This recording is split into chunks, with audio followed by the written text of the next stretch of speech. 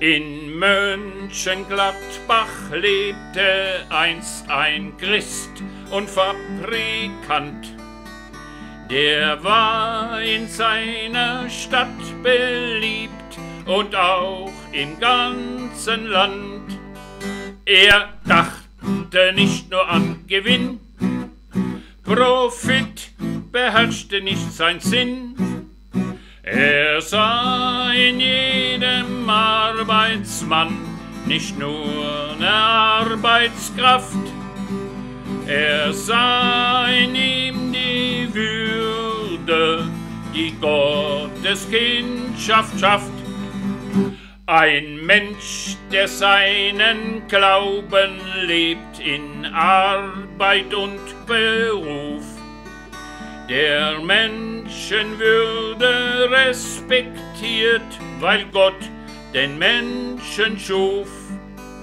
Ein solcher Mensch, das war Franz Brands, ein Christ, der fest im Glauben stand, ein Mensch, der nicht an sich nur denkt, für andere Gutes schuf.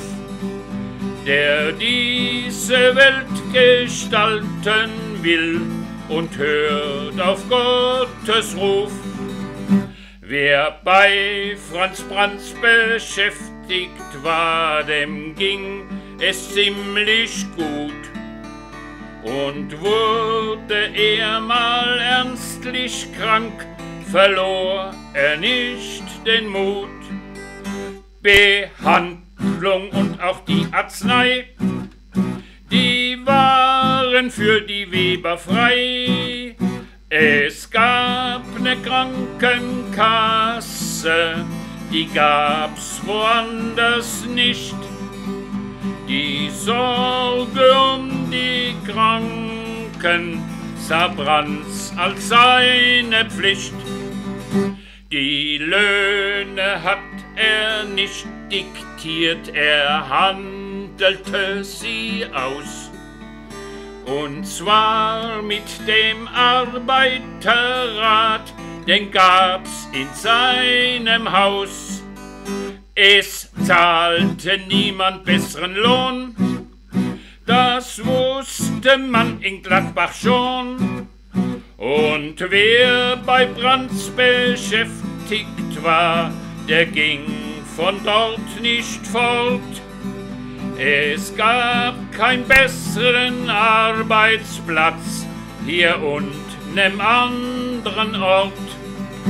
Bei Brands gab's ne Kantine, Sparkasse, Bücherei.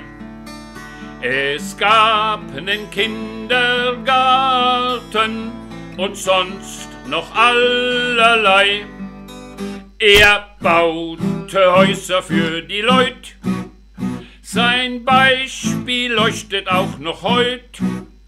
Er war für seine Weber da und hat sich nicht geschont. Dort unter seinen Leuten hat er auch selbst gewohnt. In England hat hatte er geweilt wie Friedrich Engels auch. Doch der hat nur ein Buch verfasst, wie's bei Marxisten braucht. Doch Brands, der zog die richtige Lehr, er wollt für seine Weber mehr. Ein Leben voller Würde, so ganz nach Gottes Plan.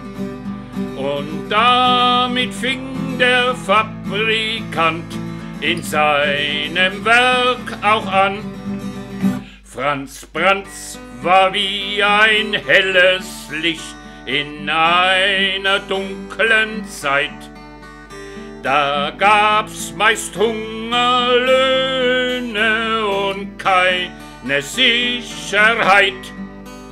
Er zeigte, dass es anders geht, wenn man zu Gottes Auftrag steht. Franz Brandt und sein Freund Hitze mit ihrem Volksverein. Die waren beide Spitze, geehrt sollen sie drum sein.